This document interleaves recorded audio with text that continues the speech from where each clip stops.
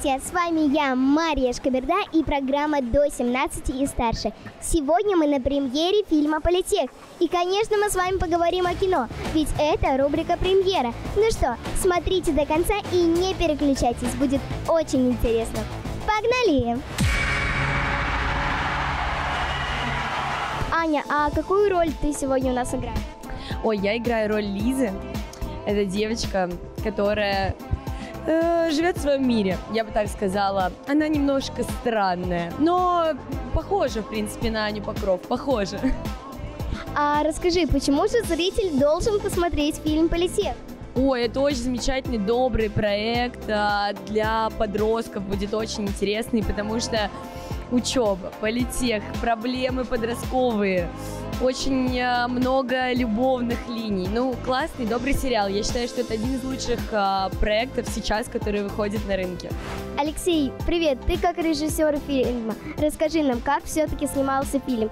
Было очень много подростков, и это какое-то, э, какая-то безумная энергия, энергия драйва, энергия того, что все хотят что-то делать. И когда ты работаешь с актерами такими опытными, которые постоянно снимаются, вот они при слове дубль, они постоянно как-то так э, нехотя хотят что-либо делать. А здесь наоборот, здесь когда ты говоришь дубль, они сразу так, давай еще придумаем что-то новое, что-то интересное, чего еще не было.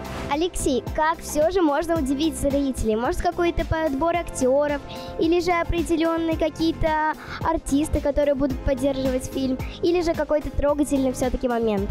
Э, зритель, конечно, смотрит много чего, и его достаточно сложно удивить, но в этом, в этом суть, э, суть моей профессии, как раз-таки искать, искать какие-то моменты, и самое главное, это делать все с большой любовью и добротой. Катя, привет! А, расскажи, какого персонажа ты сегодня у нас играл? Но э, так как я играла учительницу английского, которая плохо знает английский, мне нужно было сказать о том, что как вы добрались? А, и я что-то говорила, uh, how did you rot? Вот так просто, типа road и rot, и я вот так говорила. А ты сама в жизни чем-то похожа на своего персонажа? Внешностью, либо же какими-то определенными критериями? Uh, да, я похожа на своего персонажа тем, что я тоже часто могу сказать что-то это не в попад. Я надеюсь, что сегодня этого нигде не произойдет. А что ты можешь пожелать нашим зрителям при просмотре фильма «Политех»? Конечно, я в первую очередь хочу пожелать вам, чтобы вы получили удовольствие, чтобы вы вдоволь насмеялись, нахохотались, и чтобы этот сериал скрасил ваши осенние прекрасные вечера. А, расскажи, а есть ли какие-то определенные критерии, по которым ты выбираешь, какой фильм тебе посмотреть, а какой нет?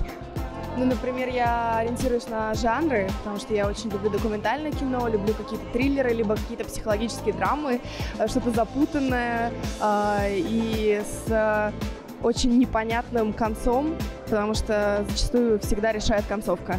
Ну и сегодня такой прекрасный сериал, премьера сериала Алексея а, я безумно рада сегодня здесь находиться, потому что я считаю, то, что Алексей а, тот самый режиссер в России, который снимает с таким кайфом, и я давно подписана на него и всегда следила за съемками этого сериала. А, Татьяна, здравствуйте. Расскажите, а какие у вас все-таки были любимые или последние роли, которые вы играли в кино? Ой, у меня много ролей, много любимых, я не могу выделить какую-то одну. Вот э, следующий сезон а, я снималась э, этим летом, этой осенью, очень много должно выйти. У меня там и каскадерские трюки, и любовные сцены, э, то есть а, и полные метры и сериалы. Так что смотрите и не пропустите. Это нужно снимать детское кино, которое воспитывает. Я просто помню себя, и, как бы мне не говорили, что все, что воспитывается, это в семье. Но нет, должны быть хорошие книги, должны быть хорошие фильмы, которые говорят, что такое хорошо, а что такое плохо.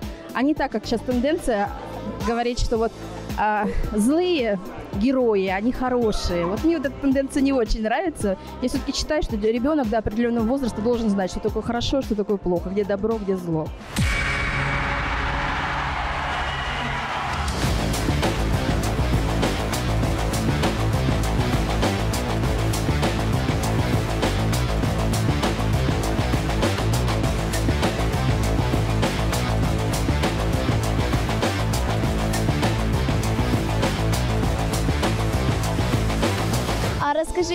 Все-таки э, такая частичка или момент, который э, зритель, так скажем, запоминает, что прям хочется снова и снова пересматривать фильм? Какой именно? Э, ну, политех, есть там такая частичка? А, ну, конечно. Он молодежный, он э, такой весь бодренький и э, мотивирующий к знаниям. Э, вот ты в каком классе учишься? В пятом. В пятом. Вот, мы снимаем про среднеспециальное. Хочешь ли ты получить такие знания? Я всегда хочу получить все знания. Вот, и, возможно, этот сериал будет мотивировать тебя получить какие-то определенные, касающиеся той или другой темы. Но в любом случае, э, после просмотра ты не останешься равнодушным. Ну что, друзья, совсем скоро прозвенит звонок и начнется премьера фильма. Напишите быстрее свой любимый фильм в комментарии и немного расскажите о нем. А с вами была я, Мария Шкаберда и программа «До 17 и старше». До новых встреч! Всем пока! I do always what I like, what I like.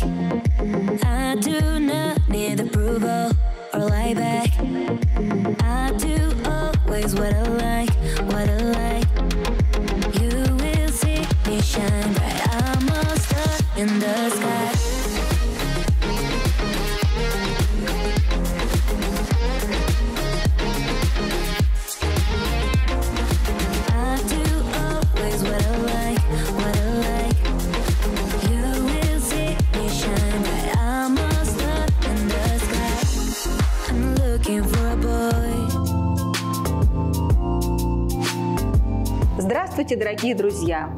С вами я, Ларионова Ирина, и рубрика «Это интересно». Сегодня наша программа посвящена интересной теме – аборигенные лошади России – национальное достояние. И мы узнаем сегодня, кто такие аборигенные лошади, почему они нуждаются в нашей защите и в чем прелесть вятской лошадки. Такого вы точно нигде не услышите. Аборигенные лошади – национальное достояние России. Аборигенные лошади встречаются только в определенном регионе планеты, и больше их нет нигде. Они уникальны. Они приспособлены под климатические условия данного региона. Очень давно насчитывалось более 25 пород аборигенных лошадей в России, а теперь осталось не более 10. К ним можно отнести такие породы лошадей, как якутская, башкирская, мизенская, кабардинская, карачаевская, приобская и многие другие породы, и, конечно, вятская лошадь. И эта лошадь очень вынослива и неприхотлива. Это ее главное достоинство и качество. Кроме того, ввиду ее аборигенности, она может прекрасно обойтись без человека. Поэтому она умна, сообразительна, быстро обучаема и, как правило, благонравна. Таковы аборигенные лошади России. Уникальное национальное достояние. Почему же их осталось так мало и почему они нуждаются в нашей защите? Аборигенные лошади не используются в большом конном спорте. Поэтому не так много внимания им уделяется. И к тому же мы прекрасно знаем, что на смену крестьянской лошадке приходят железные стальные кони, которые вытесняют ее из хозяйства. Но лошадь остается неотъемлемой частью крестьянского хозяйства и огромным помощником фермера. Потому что лошадь может пройти в тех местах, где с трудом пройдет техника. Лошадь ответит вам преданностью и заботой, и вниманием. Лошадь одухотворит ваш сельскохозяйственный труд и внесет в него новые краски. А самое главное, лошадь выполняет уникальную э, работу как транспорт, как э, помощник в любых делах, которые связаны с тяжелым крестьянским трудом. К тому же аборигенные лошади, ввиду того, что они приспособлены к местным условиям, очень легки в содержании и очень недороги в содержании. Они всегда нарядны, у них оригинальные масти. Аборигенные лошади бывают самых удивительных мастей, которые не встречаются часто у лошадей верховых или рысистых пород. Они бывают чалые, кауры, саврасы, буланы, пушастые. Это очень красиво. У них всегда очень умные глаза. У лошадей вообще глаза очень умные, но аборигенных лошадей, мне кажется, есть особая, особая мудрость ввиду их э, самостоятельности по отношению к человеку и умение выходить из сложных ситуаций тоже самостоятельно. Они же выживали всегда в дикой природе. Кроме того, аборигенные лошади используются в шоу-программах. Они очень нарядные и э, легко дрессируемые. Многие аборигенные лошади обладают благонравным характером, что очень важно в занятии любительским конным спортом и детским конным спортом. И к тому же конный туризм – это их прямое назначение. К тому же аборигенная лошадь хороша для возрождения национальных традиций нашей огромной, многострадальной и многонациональной державы. Это народные гуляния, катание на, в упряжках, э, прекрасная русская тройка – классическая запряжка, дуговая запряжка. Да и потом лошади хороши там, где они родились, где родился, там и пригодился. Там они смотрятся органично, естественно, нарядно. И главное, они на своем рабочем месте, в своем регионе, на своей родине. Это придает аборигенной лошади определенный шарм, и к тому же это э, воспитывает молодое поколение в любви к традициям и красоте и гармонии национальных обрядов, обычаев, поддерживает нашу многонациональную культуру. Такого вы точно нигде не услышите. А теперь поговорим о вятской лошади, прекрасной аборигенной породе российских лошадей. Эта порода очень древняя. Она известна с XII века, и начало ее берет в северных регионах нашей необъятной страны. Эти лошади имеют качество легко упряжных лошадей, поэтому они очень резвы и в упряжи, и под верхом. Их характерная особенность – именно резвость.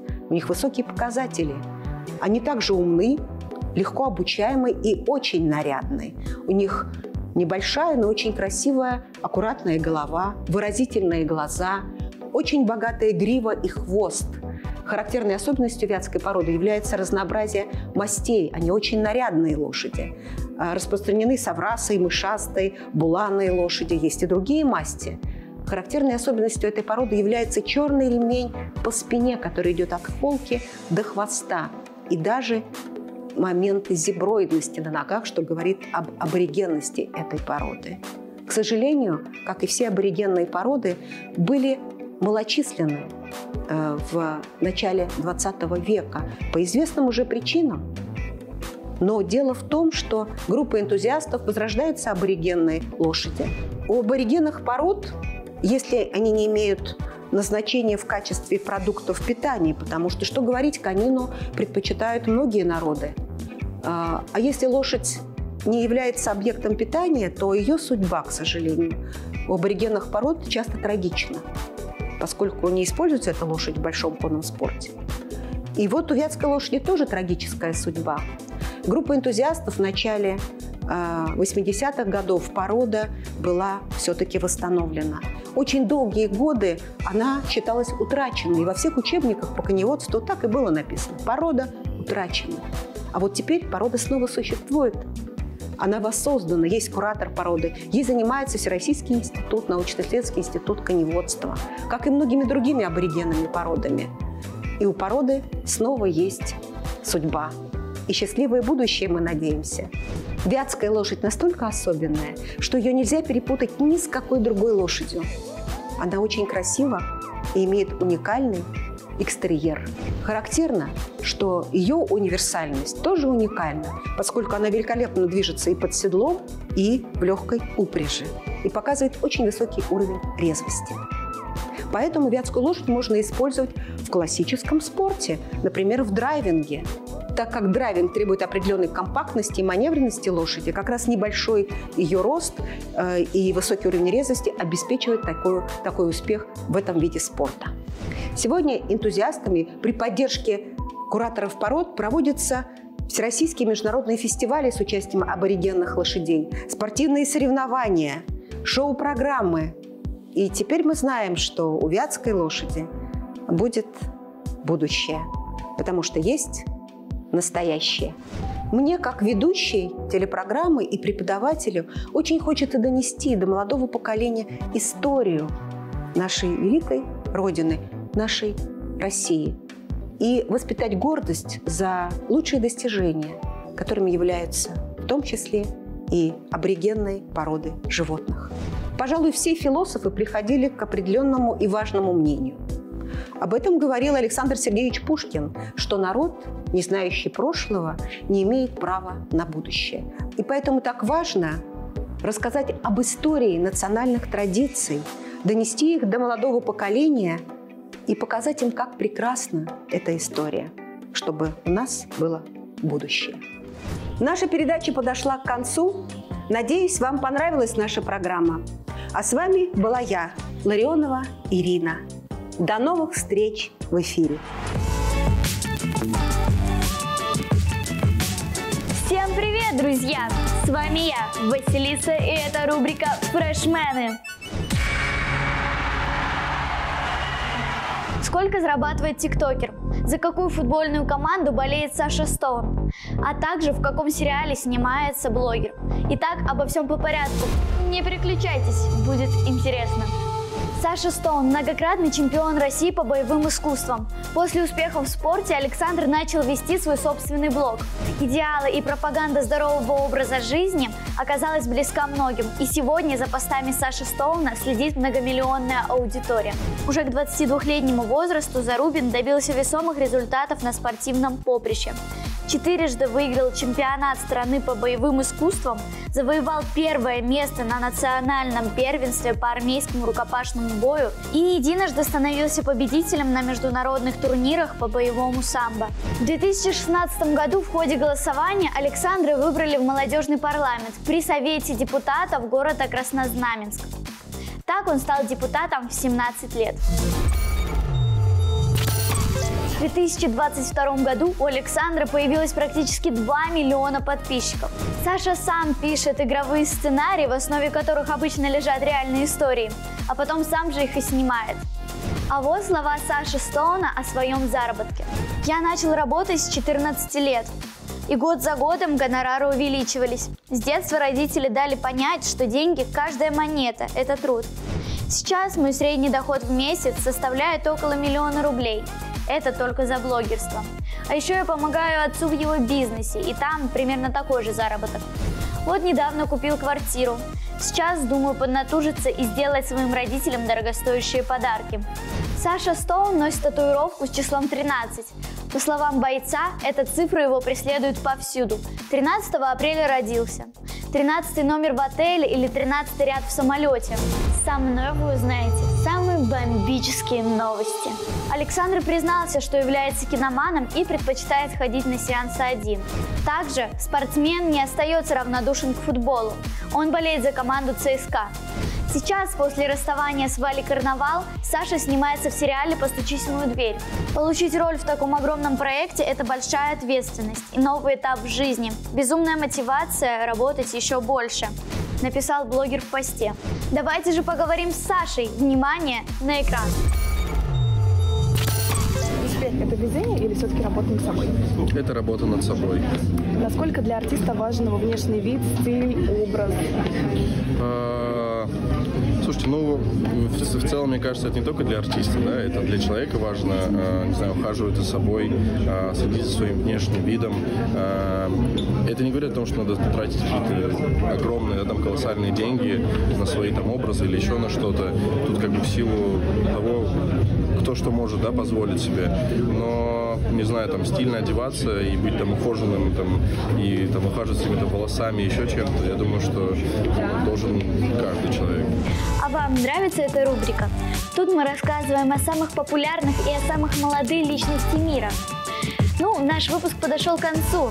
С вами была я, Василиса. Всем пока!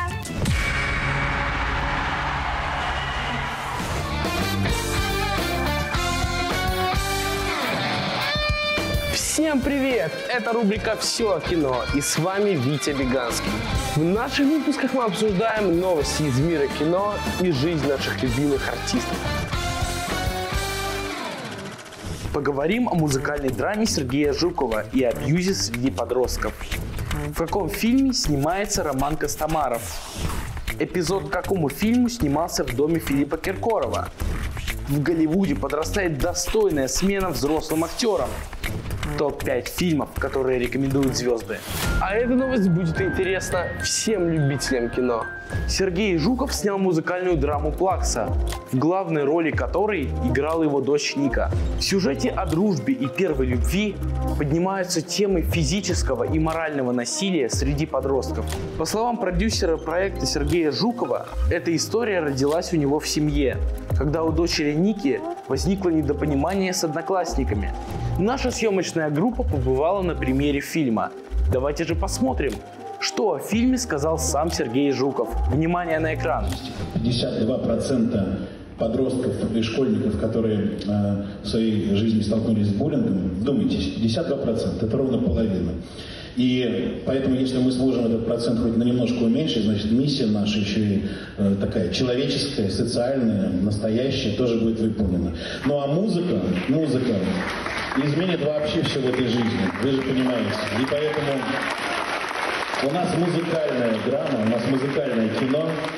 Спасибо вам заранее за то, что вы будете сегодня видеть много того, что обычно в жизни мы морщимся, ну то есть и, и нам тяжело на это смотреть, но это и есть наша жизнь, поэтому мне кажется ничего лучше, чем по-настоящему показать проблему, наверное, еще не придумал.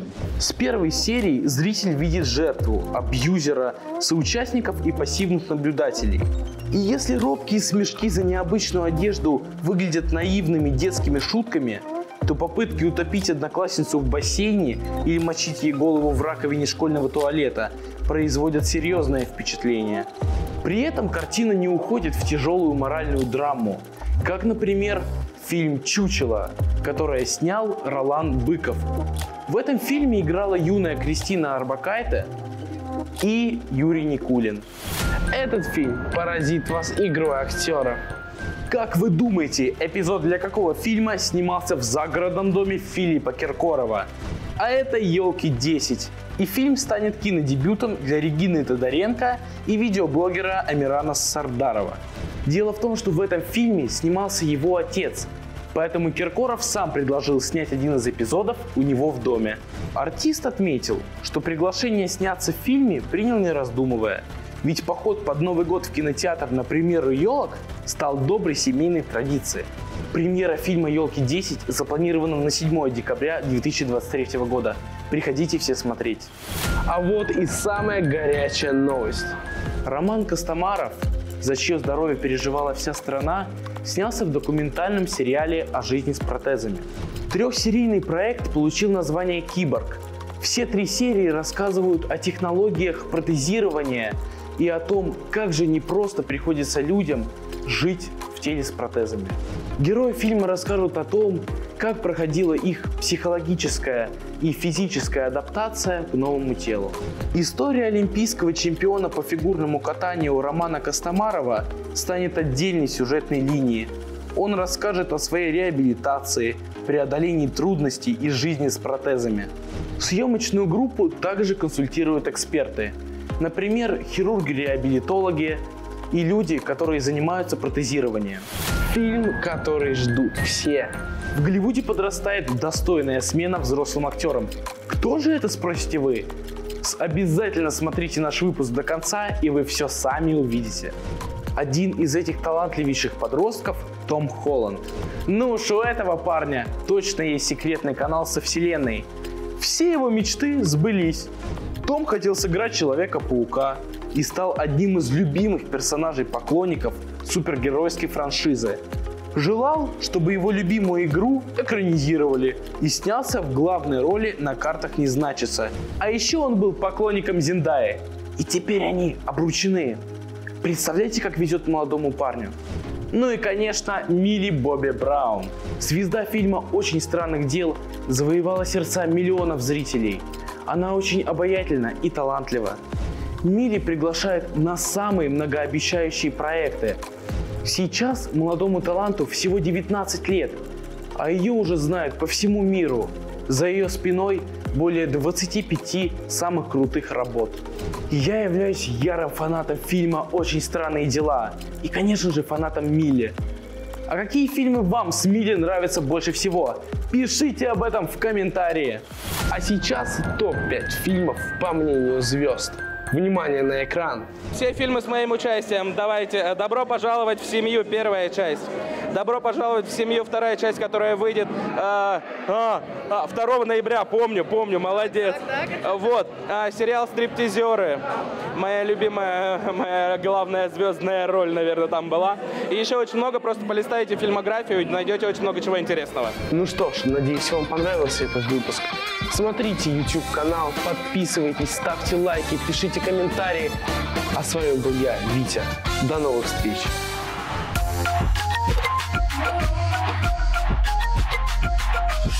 Всем привет! С вами я, Александра. И я, Диана. И это рубрика «Хочу все знать». Ну что, поехали! Из выпуска вы узнаете, О черепахе с ирокезом в голове. Что же за животное такое лягушка-рот, Почему птицы спят стоя и не падают? хоботковая собачка Петерса. Что же это за животное? Иной раз в наши головы лезет смешные и нелепые вопросы. Что диву даешься? Мы с Дианой задумывались, почему же птицы спят на ветке и не падают? Вот что я узнала. Чем сильнее напряжены мышцы птиц, тем крепче они спят на ветках. Во время сна пальцы птичек на лапках крепко охватывают веточку или жердочку и превращаются в крепкий замочек, который открывается только после пробуждения. Понаблюдай за просыпающейся птицей. Когда она выходит из фазы сна, то приподнимает тело и расслабляет сухожилия. Теперь она может снова двигаться и летать. Кстати, есть птицы, которые спят стоя, да еще и в воде. Так любят дремать фламинго и цапли. Считается, что они поджимают одну ногу, чтобы сохранить тепло и температуру тела. И это не единственные чудаки. Аисты могут спать прямо во время перелета. Правда, делают это по очереди. А темная крачка спит в полете над морем. Природа создала столько видов удивительных животных, что можно их изучать до бесконечности. Давайте вместе с нашей передачей познакомимся с самыми удивительными, нелепыми, странными и очаровательными животными нашей планеты. А ты можешь поверить, что есть черепахи с ирокезом на голове? Ирокез на голове на самом деле является водорослью, а черепаха – это австралийский вид, который появился около 40 миллионов лет назад. У этой черепахи есть специальные органы, которые позволяют ей получить кислород из воды. Она может оставаться под водой до трех дней. Саша, а ты слышала о таком животном лягушка-рот? Кто же это, лягушка или птица? Мне стало интересно, и вот что я узнала. Лягушкороты названы так в честь их широкого клюва. Когда они открывают э, свой клюв, чтобы съесть, например, какого-нибудь насекомого, он очень похож на открытый рот лягушки. Эти птицы не очень сильны в полете, и они чаще всего отдыхают на каких-нибудь ветках деревьев, а оперение очень хорошо их маскирует. Лягушкороты населяют Южную и Юго-Восточную Азию, Австралию, Тасманию и Новую Гвинею и острова. Диана, посмотри на эту картинку. Это хоботковая собачка Петерса. Ты слышала о таком животном? Это симпатяга с удлиненной мордой млекопитающие из семейства пригунчиковых. Обитают в Кении и Танзании. Животное названо в честь немецкого зоолога Вильгема Петерса. Хоботковые собачки живут исключительно на земле. Они активны днем, а ночью спят в своих гнездах, сделанные в маленьких ямах. Или, например, илийская пищуха. Крошечное млекопитающее, родом из горного региона на северо-западе Китая, было обнаружено в 1983 году и описано как новый вид в 1986 году. Илийская пищуха принадлежит к исчезающему виду. Этих плюшевых мишек осталось меньше тысячи, и их вид продолжает исчезать. Вероятно, это происходит из-за изменений в климате. Ну что, на этом наш выпуск подошел к концу. С вами была я, Александра. И я, Диана.